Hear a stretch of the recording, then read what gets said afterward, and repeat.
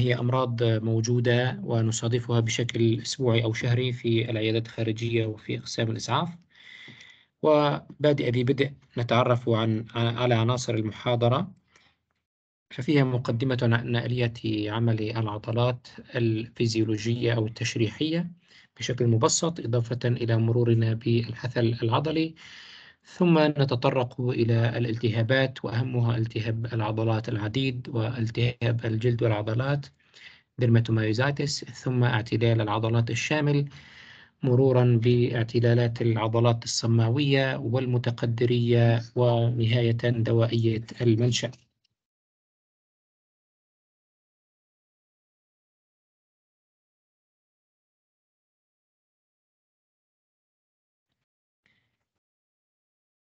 فكما تعلمون جميعا يوجد في جسم الإنسان بشكل عام ثلاث أنواع من العضلات هي المخططة والملساء والقلبية. العضلات الهيكلية المخططة ثم العضلات الملساء والتي تتميز بأنها ذات تقلص بطيء إضافة إلى النوع الهام جدا من العضلات وهو العضلة القلبية وتقلصها لا إرادي قوي ويحدث بشكل إيقاعي منتظم دبلب ويعد القسيم العضلي الوحدة الوظيفية في العضلات وهو أصغر وحدة تقلصية وظيفية مسؤولة عن تقلص العضلة بشكل عام. فهناك آه، يعني مخطط بسيط يمكن التحدث عنه والتطرق إليه عن آلية عمل العضلة بشكل عام. فنلحظ آه، أنه يوجد بحث كامل كان لدينا في آه، مادة النسج والتشريح المرضي عن آلية التقلص العضلي لكننا هنا نستطرد بعض الأفكار مرورا بخيوط الأكتين والميوزين. فالليف العضلي هو خلية أسطوانية طويلة متعددة النواة ويتألف بدوره من مجموعة من اللييفات العضلية. حيث تجتمع الألياف العضلية بشكل منتظم ضمن حزمة متسقة منتظمة. والتفاعل العضلي يحدث بين خيوط الأكتين والميوزين مما يؤدي إلى حدوث التقلص العضلي. وهذا التقلص يسمى حلقة الجسور المعترضة ويحدث وفق تسلسل معين آه، حيث يكون رأس الميوزين في البداية وقبل التقلص ممتدا بشكل عمودي باتجاه خيط الأكتين ولكنه غير مرتبط بالأكتين فنلحظ أن آه، هذا خيط الأكتين وهذا خيط الميوزين ممتد معه ولكن لا يتصل معه ليس متصلا بعد في الحلقة الأولى. نلحظ أن الجسر غير مكتمل بعد ما في وصل بين الخيوط العضلية السميكة والخيوط العضلية النحيفة أو الرفيعة. ثم بعد ذلك آه، يحدث بوجود الطاقة عن طريق آه، الجزيء الجزيء الفوسفات. إلى أن يتصل الجزيئان مع بعضهما البعض بشكل عمودي. حيث آه، حقيقة الأمر آه، تتحد الرؤوس بوساطة الطاقة adenosine triphosphate عبر إنزيم ال ATPase والذي يكون بفعالية رؤوس الميوزين حيث تقوم بشطر ال ATP في حال ارتباطه إلى ADP adenosine diphosphate ثنائي الفوسفيت وتتحرر جزيئة الفوسفيت وتبقى منتجات هذا الشطر مرتبطة بالرأس الذي يختزن الطاقة ليستخدمها في شد الخيط الرفيع باتجاه مركز الساركومير. حقيقة يزول التفعيل أو الفعل التثبيطي لمعقد التروبونين والتروبومايوزين بواسطة شوارد الكالسيوم والمواقع الفعالة تنكشف عن خيط الأكتين ما يؤدي إلى ارتباط رؤوس الميوزين بهذه المواقع. الاتحاد بين رأس الميوزين والموقع الفعال الأكتين يؤدي إلى تحرير الفوسفات. فينتج عن ذلك تغير شكلي في الرأس إذ يميل باتجاه مركز الساركومير وهذا يعطي ضربة القدرة ال power لجذب خيط الأكتين. بعد أن يميل الرأس للجسر المعترض يحدث تحرر لثنائي الفوسفيت أدينوزين ويرتبط مكانه ثلاثي الفوسفيت أدينوزين ويؤدي إلى ارتباط يؤدي ارتباط الرأس بال ATP إلى انفصاله عن موقع ارتباط بالأكتين وثم يشطر الجزيء الجديد ويقوم وتقوم الطاقة المتحررة بإعادة الرأس إلى وضعيته العمودية استعدادا لبدء ضربة عضلية جديدة. كخلاصة القول هذه حلقة تلخص حلقة التفاعل أو الأكتين ميوزين بداية نجد أن رأس الميوزين رأس الميوزين منفصل عن القطعة الرفيعة المسماة بالأكتين. ثم تتحرر طاقة من adenosine triphosphate جزيئة فوسفات واحدة ويبقى جزيئتين من الفوسفات مع adenosine diphosphate. هذا يؤدي إلى تطاول وارتباط رأس الميوزين بجزيئة الأكتين عبر تشكيل هذا الجسر بينهما بين الميوزين وبين الأكتين. فتتحرر جزيئة الطاقة P مما يؤدي إلى تغير شكلي في هذا المقطع بين الأكتين والميوزين. وتحدث الضربة العضلية تحدث الضربة العضلية ويتحرر أيضا جزيء من الفوسفيت.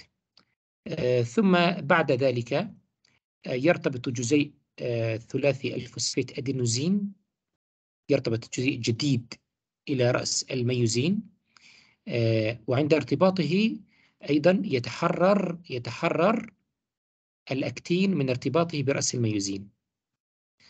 إذا الارتباط والتحرر يحتاجان بشكل عام إلى طاقة. فالعضلة آه، آه، بتقلصها واسترخائها حسب أنواع العضلات. في العام الأغلب تستخدم طاقة.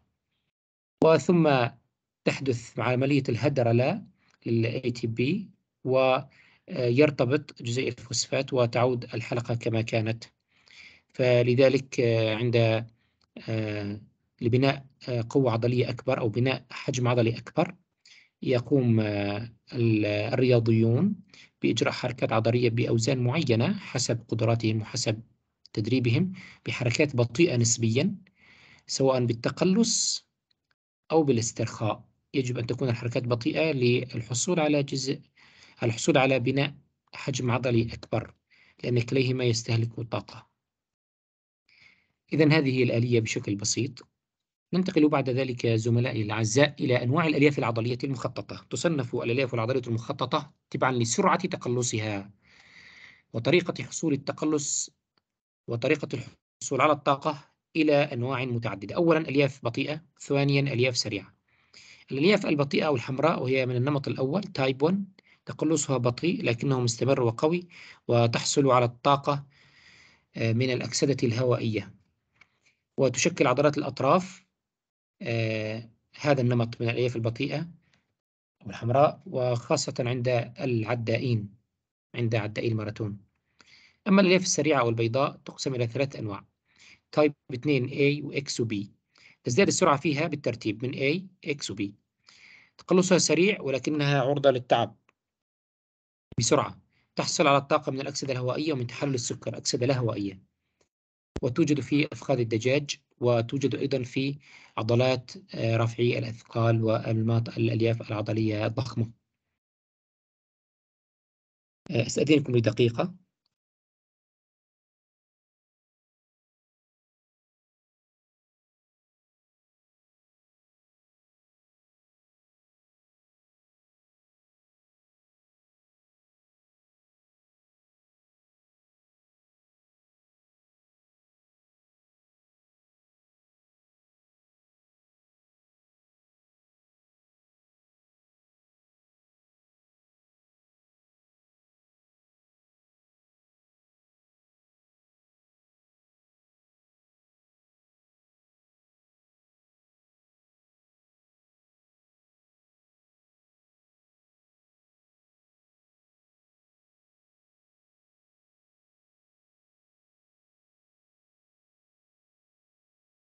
ننتقل إخوتي الأعزاء إلى خمائر العضلات الإنزيمات وأهمها كرياتين كينيز ونتحدث فيه بشكل عام لأنه هام جدا ومتوفر في أغلب المخابر في مناطقنا وهو الركيزة أو عفوا الخميرة أو الإنزيم الأهم من ناحية الخمائر العضلية.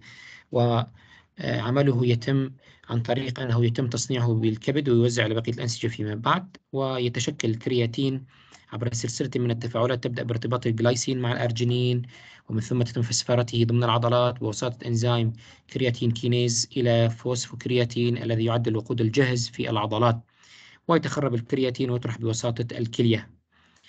أنماط ال creatine kinase هي ثلاثة آه، خاص في الدماغ والقلب والعضلات الهيكلية والقلب. سيكي 1 2 3 سيكي 1 هو ال brain الموجود في الدماغ BB ويرتفع في اعتلالات ال central nervous system أمراض الجملة العصبية المركزية. CK MB كما تعلمون يوجد في القلب ويرتفع في الإصابات القلبية الحادة. وال MM 3 يوجد في العضلات الهيكلية وعضلة القلب.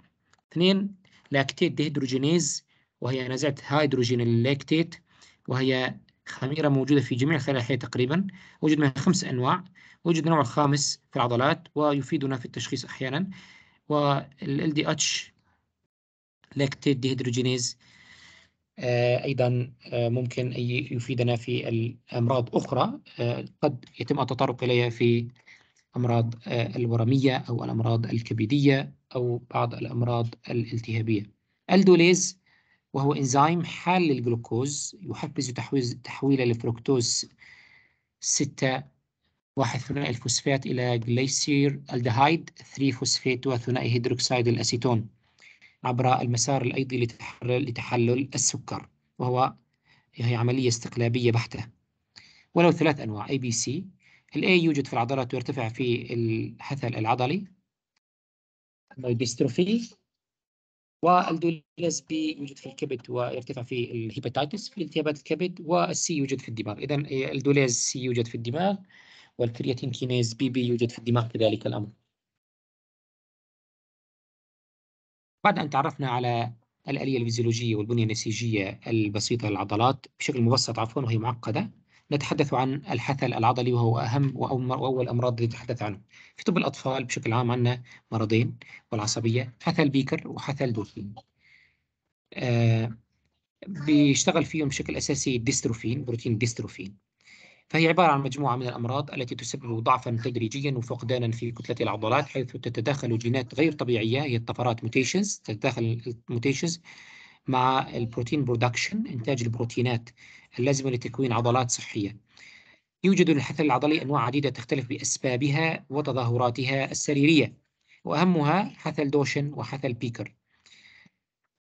البيكر يكون أخف من دوشن والمشكلة في كليهما هي مشكلة بروتين الديستروفين حيث تكون كميته قليلة في حثل بيكر ولكنها معدومة تقريبا في حثل دوشين يختفي مع الزمن مما يؤدي إلى الحثل العضلي. ولكن باقي أنواع الحثول العضلية ليست الضرورة أن تكون في خلل في الديستروفين إذ أنه أن من الممكن تكون في طفرات مرمزة لبروتينات أخرى. حثل دوشين وتسألون عليه في أمراض الداخلية وأمراض الأطفال وحتى الجراحات وحتى العظمية وحتى العصبية. هو عبارة عن مرض حثلي وراثي مرتبط بالصبغي X أي أن الذكور يصابون به بشكل أساسي ويورث عن طريق الأم المصا... الحاملة للنقل للمرض وغير مصابة. الأم حاملة للمرض وغير مصابة وغالبا يكون آه، أخوال الطفل خاله يعني قد يكون مصابا لأنه آه، autosomal عفوا X-linked recessive يعني وراثة آه، مرتبطة بالصبغي الجنسي X يكون أخوتها للأم مصابين. الأم ناقلة الطفل مصاب. إصابة الإناث نادرة وإن أصيبت فتكون ذات تظاهرات سريرية خفيفة إذا الطفرة في بروتين الديستروفين غياب الديستروفين من العضلات وتموتها مع الزمن ما هي ال etiology؟ ما هي الآلية المرضية؟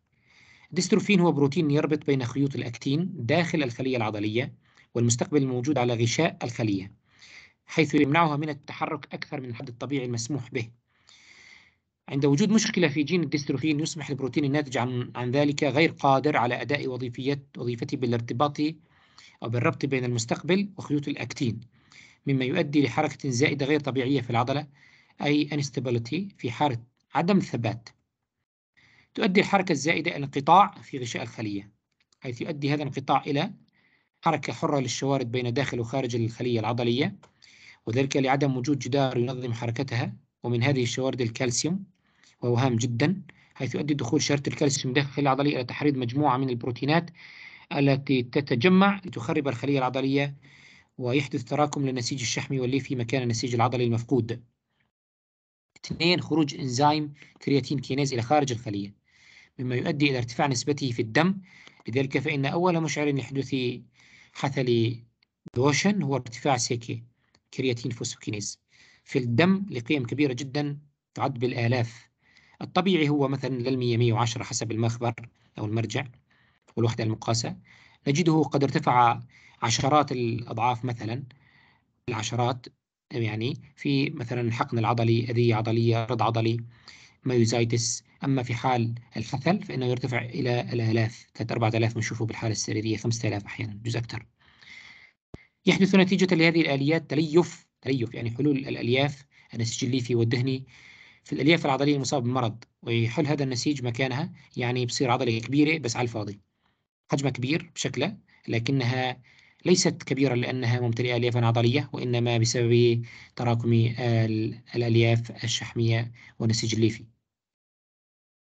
الصورة الأولى التي ذكرناها نلاحظ دور الديستروفين في الربط بين خيوط الأكتين وغشاء الخلية. فهذا المطرق خارج الخلوي extracellular matrix هذا dextro أو dystroglycan complex المعقد الذي تشكل نتيجة الارتباط وهذا dextro أو dystroglycan binding end هذا نهايته. عم نشوف نهاية ارتباط الأكتين هنا وهذا الجسم الأحمر المركزي وهذا هو بروتين ديستروفين. فهذه هي شبكة الأكتين هي شبكة الأكتين. وهذا آه، غلاف أو غشاء الخلية العضلية. هذا الربط بيناتهم هذا الربط بيناتهم. فإذا ما في هون آه، آه، ديستروفين ما في ديستروفين فراح ينفك هذا الارتباط بالتالي هذا راح يطلع وراح يصير في عنا خلل وتقطع في غشاء الخلية العضلية وتخربها عم نشوف إنه ما في ديستروفين يربط آه الخيوط والشبكة العضلية فتقطع الديستروفين مو موجود. فتقطع غشاء الخلية العصبية العضلية عفوا مما يؤدي حدوث خلل فيه وتخرب.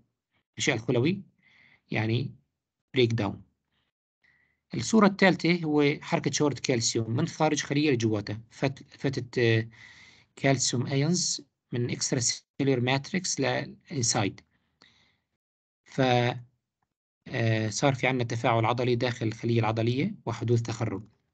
الصورة أربعة ال creatine kinase خرج من داخل الخلية العضلية إلى خارجها. هذا ال creatine kinase اللي هو الإنزيم المسؤول عم نشوف هي الألياف بمقطع آه، جانبي لألياف طولانية النسيج الشحمي هدول الألياف المضيئة نسبيا الفاتحة هي لازم تكون ألياف عضلية.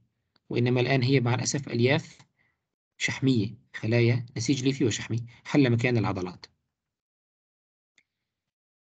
إذا ما هي التظاهرات؟ السريرية؟ التظاهرات السريرية أول شيء الولد بنولد وضعه كويس أموره جيدة وما عنده أي مشكلة بنط وبيلعب وبزحف.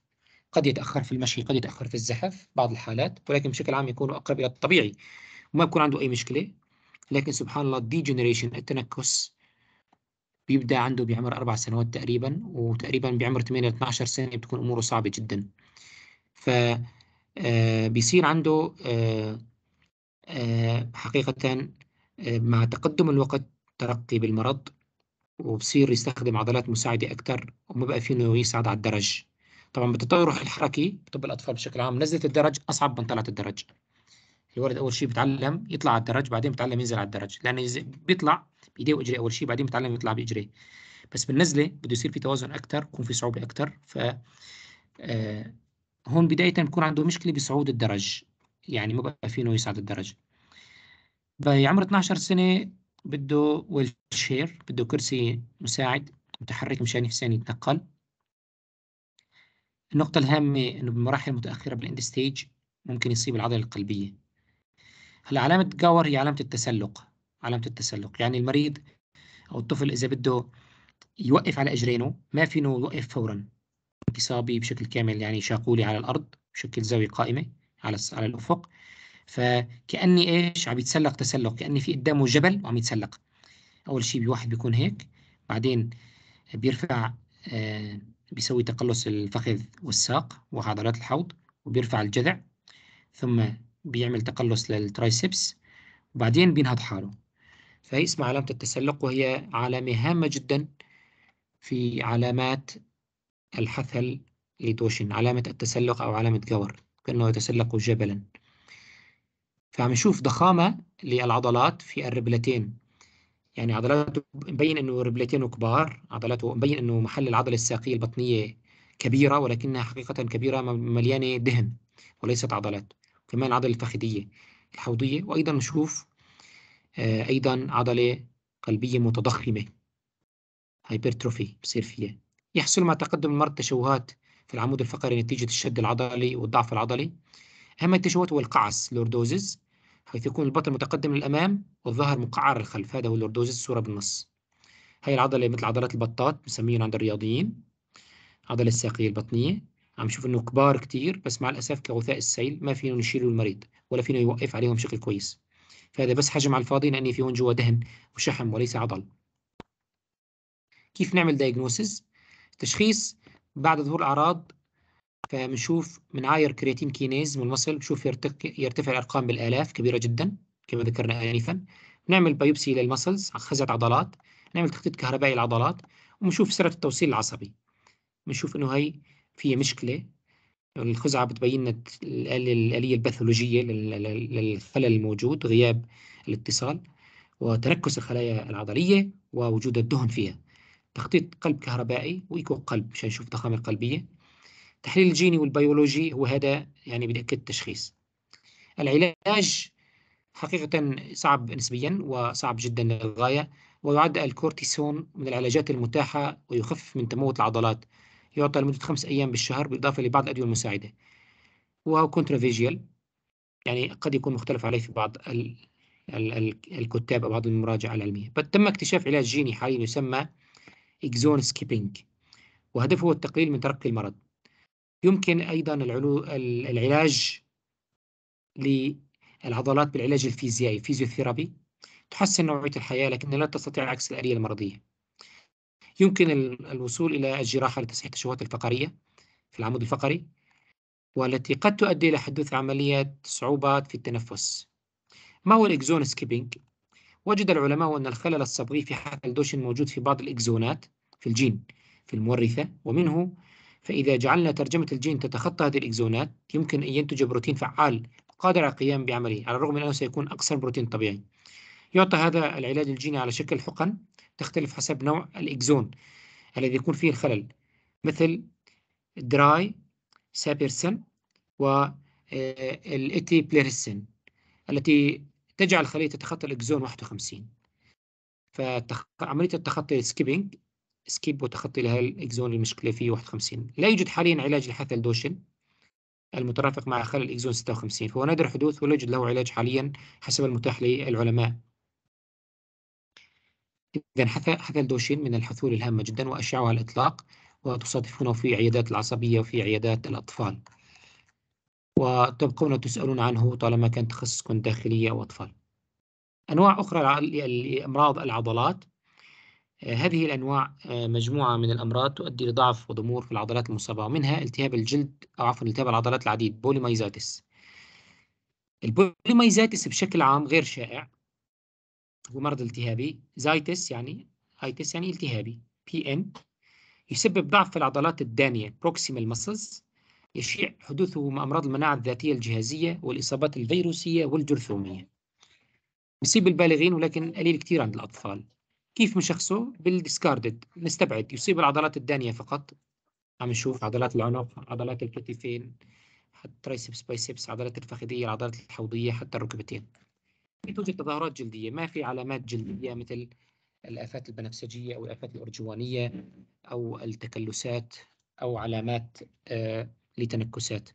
لا تتأثر عضلات الوجه أو عضلات العينين. هام جدا في مقاربة أمراض العضلات أنه تركز على عضلات العينين وعضلات الوجه بشكل عام.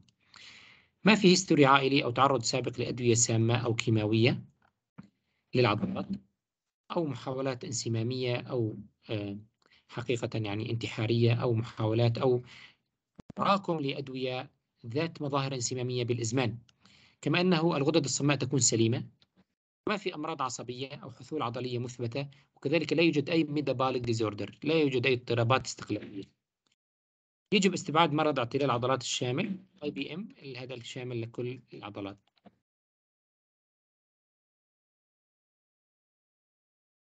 يجب تمييزه عن التهاب الجلد والعضلات. dermatomyositis هذا dermatomyositis هام جدا وضروري نعرفه أكثر من غيره وهو الخطر المحدق في التشخيص عندما نقوم باستبعاده في تشخيص أمراض أخرى كالتهاب العضلات العديد أو غيره أو التهاب العضلات الشامل dermatomyositis اللي هو التهاب الجلد والعضلات هو مو بس مرض بيصيب العضلات وإنما هو مرض جهازي هي هامة جدا.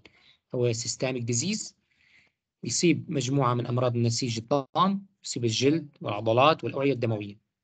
الأعراض هو مضض وألم عضلي تكون قوة العضلات طبيعية ويترافق مع التهاب الأوعية المحيطية.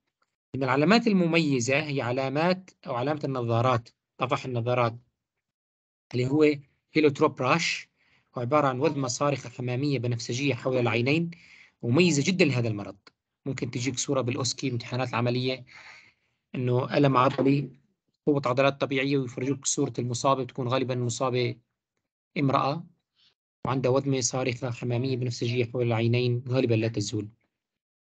طفح جلدي أحمر مسطح على الوجه والجذع العلوي وعلامة ال V على الوجه الأمامي للصدر هو عبارة عن طفح جلدي بيكون على شكل حرف ال V على الوجه الأمامي للجلد الصدر في علامة الشال اللي هي shawl sign أو shawl sign اللي هو عبارة عن طفح على الظهر والأكتاف. أما علامة جوترون فهي من العلامات المميزة جدا. فهي عبارة عن حطاطات تتوضع على المفاصل مع عقيدات قاسية وتكلسات على البوارز العظمية وخاصة بوارز الأسطح الظهرية الباسطة لليدين وهناك توسع في العرى الشعرية في قاعدة الأظافر أيضا ركزوا عليها كل ما تفحص مريض فحص له أظافره وأيادي الميكانيكي ليش أيادي الميكانيكي؟ دائما بتلاقيه أنه آه، ميكانيكي جزاه الله خير عم بيعمل بالسيارات بيعمل بأعمال قاسية بإيديه يعني متشققين. وإيديه دائما فيهم آه، بتشوف مثل بقايا الزيت أو بقايا الشحمة أو بقايا الأعمال اللي بيشتغل فيها. فأيادي الميكانيكية هي العلامات السبعة هام جدا نحفظهم عن هذا ال dermatomyositis نحفظهم. فهي عبارة عن شقوق متسخة أفقية غير منتظمة على سطح الراحي الأصابع. في عندنا مشكلة كتير كبيرة اللي هي أنه التهاب الجلد والعضلات قد يكون منذرا ومنبئا بحالة سرطان البنكرياس خاصة عند المسنين. هي هامة هامة جدا وصادفتنا في الكثير من الحالات في العيادات الخارجية وكذلك في قسم الإسعاف. هي الصور هي صور traditional typical بتلاقوها بالجوجل بتلاقوها بكثير مراجع لحطاطات جوترون والشكل في لطفح الجلد وأيضا حطاطات البنفسجية أو البقع البنفسجية الأرجوانية حول العينين تصيب الوجه كمان ويدي الميكانيكي. وأيضا عم نشوف اتساع قاعدة القاعدة الشعرية بقاعدة الأظافر والطفح الجذعي أيضا الموجود الأرجواني. العلاج العلاج صعب. العلاج صعب. وعامة الإنذار ليس جيدا في dermatomyositis بالنسبة لعلاج التهاب العضلات العديد والتهاب الجلد والعضلات نحسن قوة العضلات لأن قوة العضلات في ال dermatomyositis طبيعية تحسين مظاهر خارج عضلية. يجب إيقاف الأدوية إذا لم يبدي المريض استجابة ولم تحسن القوة العضلية لأن رح تكون بس side effect للدواء. نبدأ بجرعات عالية من الكورتيسون ثم نلجأ مثبطات المناعة ثم إلى ال IVIG جلوبين المناعي. إذا كورتيسون ثم مثبطات مناعة ثم جلوبين مناعي. الكورتيكوستيرويد جرعة فموية. ملاحظات حول استخدام الستيرويدات بشكل عام الزملاء الأعزاء لاستخدام الكورتيزونات تكون استجابة في التهاب الجلد والعضلات أفضل من التهاب العضلات العديد يجب الحذر من استعمال الطويل فقد ذلك الاعتلال العضلي وضعف متزايد. اسمه steroid myopathy يعني المرضى بياخذوا كورتيزونات كثير حتى لو ما كان عندهم مشكلة بالعضلات بعدين بصير معهم اعتلال عضلي بسبب الاستخدام المزمن للكورتيزونات. ما هي مثبطات المناعة المستخدمة؟ مثل الميثوتريكسيت ميكوفينوليت الموفيتيل سايكلوسبورين تاكروليموس وريتوكسيماب. بالحقيقة آه، مثل ما قلنا أنه العلاج صعب إنذار ليس جيد. 75% ثلاث أرباع المرضى بيحتاجوا مثبطات مناعة ما بيستجيبوا على الكورتيزون. يعني عافانا الله وإياكم dermatomyositis شغلة كبيرة. ومرض خطير آه، يحتاج إلى علاج كيماوي. أزاثيوبرين نسبيا سليم. علاج كيماوي. ميثوتريكسات يعني سليم كمان بيشبه الأزاثيوبرين تأثيراته ليست جانبية كبيرة. ميكوفينوليت موفيتيل كمان يعني مش نص على نص. سايكلوسبورين غير محبذ من اغلب المرضى تاكروليموس مقبول نسبيا. ريتوكسيماب أيضا العلاجات الحديثة المعدلة للمناعه أيضا جيد جدا نسبيا. التعديل المناعي نعطي جلوبين مناعي وريدي ولكن ممكن يحتاج المريض كل شهر أو كل ثلاثة شهور حسب استجابته للمرض لأنه إيش؟ مؤقت التأثير. ننتقل إلى اعتلال العضلات الشامل Inclusion Body Myositis Inclusion Body Myositis ال IBM وبيشبه كمان BMI Body Mass Index الوزن على مربع الطول بالسنتيمتر أو بالمتر مربع هو أكثر اعتلالات العضلات الالتهابية شيوعا يصيب كبار السن فوق الخمسين عند الذكور يتطور بشكل بطيء وثابت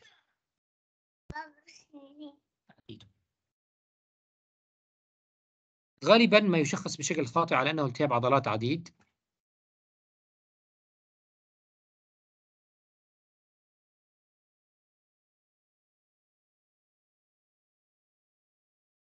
تختفي عفوا آه غالبا ما يشخص بشكل خاطئ على أنه التهاب عضلات عديد ولكن يتم الشك به عند عدم الاستجابة على العلاج. الأعراض وهي خطرة جدا.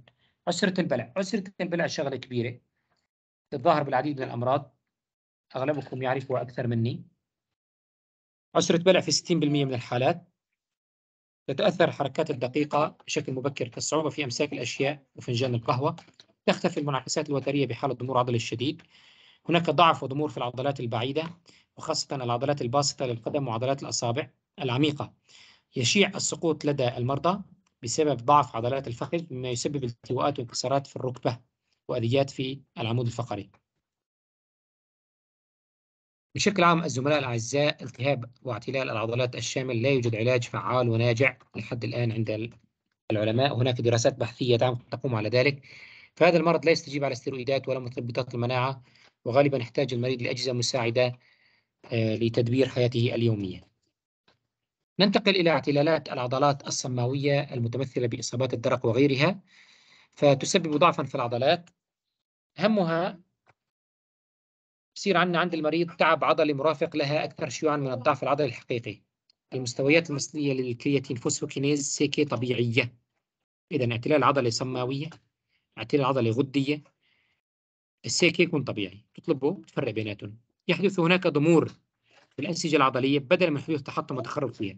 إذا هون في عندك عندك آه، ضمور أكثر ما يكون degeneration وتخرب وبتستجيب للعلاج بتعالج المشكلة الغدية بطيب المريض. فرط نشاط الغدة الدرقية ضمور عضلي وتعب في العضلات الدانية عضلة مربعات الرؤوس الفخذية. ترافق مع اضطرابات في العضلات العينية كما ذكرنا نركز على العضلات العينية. فرط نشاط الغدة الدرقية في مشكلة بعضلات العين. بالأساس هو شو بكون في عنده؟ جحوظ يعني. تكون مستويات السيكي طبيعية كما ذكرنا بالاعتلالات الغدية العضلية. البوثيروديزم قصور الغدة الدرقية يوجد فيه ضعف في العضلات الدانية في ثلث الحالات. يوجد بطء في تقلص واسترخاء العضلات في ربع الحالات. يعني هو مريض ضعيف التنكي مثل ما بقول قصور الغده الدرقيه ما بتعالج منيح هو تعبان بالأساس. عضلاته تعبانة ففيها ضعف بالعضلات الدانية وفي مشكلة وبطء بتقلص واسترخاء العضلات. تطاول في زمن الاسترخاء في المنعكسات خاصة منعكسي وتر أشيل والعضلة البايسبس. فتطاول بزمن الاسترخاء في المنعكسات مثل منعكس وتر أشيل والعضلة ذات الرأسين العضوضية.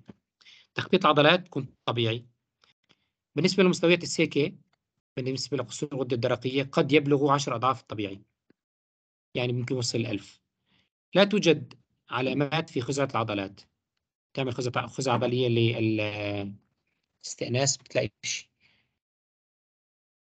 اضطرابات الغدة الكظرية تعد من أكثر اضطرابات العضلات المرتبطة بتشخيص منشأ الغدة الصماوي ويوجد ضعف في العضلات الدانية كما في العضلة مربعة الرؤوس الفخذية كما يحدث ضمور للألياف type 2B البيضاء ويترافق مع انخفاض البوتاسيوم كما في متلازمة كون.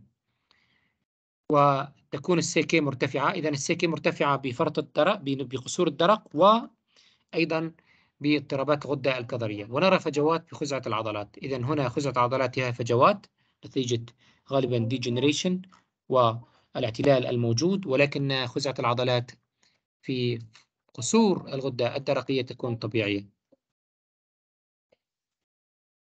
المتقدرات. المتقدرات اعتلالات العضلات في المتقدرات هي عبارة عن بحث كبير ويتم التركيز عليه كثيرا في كبريات المراجع ولكننا هنا نختصره لنتحدث عن الأشياء الشائعة جدا جدا فقط. والأقلام ورؤوس الأقلام حتى. الخطوط العريضة لاعتلالات العضلات المتقدرية هي عبارة عن مجموعة من الاضطرابات الشائعة الناجمة عن أضرار تلحق بالمتقدرات الميتوكوندرية والتي يتم توريثها من الأم. إذا مورثات الأم هي من المتقدرات بس. لماذا الزملاء الأعزاء؟ هل يمكن أن يوضح لنا بعضكم لماذا أن مورثات المتقدرات تأتي من الأم ولا تأتي من الأب؟ محمود على الصبغة إكس حكيم. نعم ممكن ولكنها مورثات خاصة بالمتقدرات.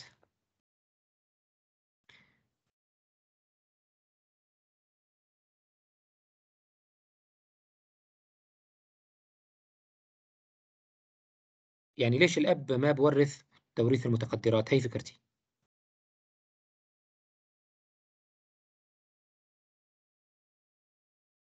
آه، إذا عدنا بشكل بسيط إلى مرحلة الإخصاب في الخلية البيضية الثانوية عند حدوث الحمل. النطفة عندما تتجاوز وتجتاز غلاف أو الإخصاب المضاعف كما يسمى الخلية البيضية الثانوية لتتحول بعد ذلك إلى بويضة. فالمتقدرات الموجودة في النطفة تستخدم وتستهلك في حركتها للوصول إلى الخلية البيضية الثانوية وتبقى خارج الخلية البيضية الثانوية أي خارج البويضة أي خارج آه، المضغة أي أنه لا يوجد متقدرات تصل إلى الجنين من الأب وإنما المتقدرات تكون موجودة فقط من الأم في آه، هذا السياق وبالتالي وراثة المتقدرات تأتي من الأم. في عندنا أمراض كثيرة جدا بوراثة المتقدرات ومنها ما يكون آه، آه، اضطرابات عضلية على الأغلب في مثل اضطرابات اعتلالات العضلات الحمراء الممزقة والاضطرابات التي تترافق مع الرنح المخيخي واعتلال الشبكية الذي آه، يحدث فيه أيضا أعراض مرافقة كالرنح وعلامات عوز الفيتامين إي المهم نعود إلى اضطرابات العضلات المتقدرية. ونقول بأنها ذات سير بطيء بشكل عام بين خمسة وخمس سنوات حتى تظهر ولعل من أكثرها شيوعا هو الشلل العين الخارجي التدريجي المزمن والذي يترافق مع أكثر من 50% من الحالات. تندرج هذه الاعتلالات ضمن العديد من المتلازمات وأهمها متلازمة كيرنز ساير. متلازمة كيرنز ساير أو كيرنز ساير هي عبارة عن تظاهرات سريرية تبدأ قبل سن العشرين ويحدث فيها اعتلالات الشبكية الصباغية وحصار القلب التام والرنح المخيخي. فنذكر هنا فقط على سبيل الذكر متلازمة آه، كيرنز ساير التي توجد فيها هذه العلامات والأعراض بشكل عام. بشكل عام تبدأ بالظهور بين عمر سن 5 ل 15 سنة. سن 5 ل 15 سنة أيضا هو سن مميز لذات الرئة النموذجية بالميكوبلازما وكلاميديا وليجونيلا. عودة إلى اعتلال العضلات أخرى منها دوائية المنشأ. دوائية المنشأ أهمها الستيرويدات وخافضات الشحوم. تلاقي مريض يستخدم كورتيزونات فترة طويلة بصير عنده اعتلال عضلي. تلاقي مريض عنده بداني مثلا عنده اعتلال عضلة قلبية عنده فرط كوليسترول الدم triglyceride يعني increased فتلاقيه بياخد خفضات شحوم كتير. فممكن بعدين يصير في عنده اعتلال عضلات وتعب عام بهذا السبب. آه، حقيقة إخوتي الزملاء الأعزاء هذه نهاية المحاضرة. تطرقنا فيها لأمراض العضلات الأكثر شيوعا واللي بتهمكم بالحياة العملية لأن اعتلالات العضلات فيما بعد أوسع من ذلك تكون تخصصية بحتة وليس لسنا في صدد آه، حاليا في هذا اللقاء التطرق إليها. شكرا لكم جميعا لحسن إصغائكم وصبركم. إذا عندكم أي سؤال تفضلوا اسألوا.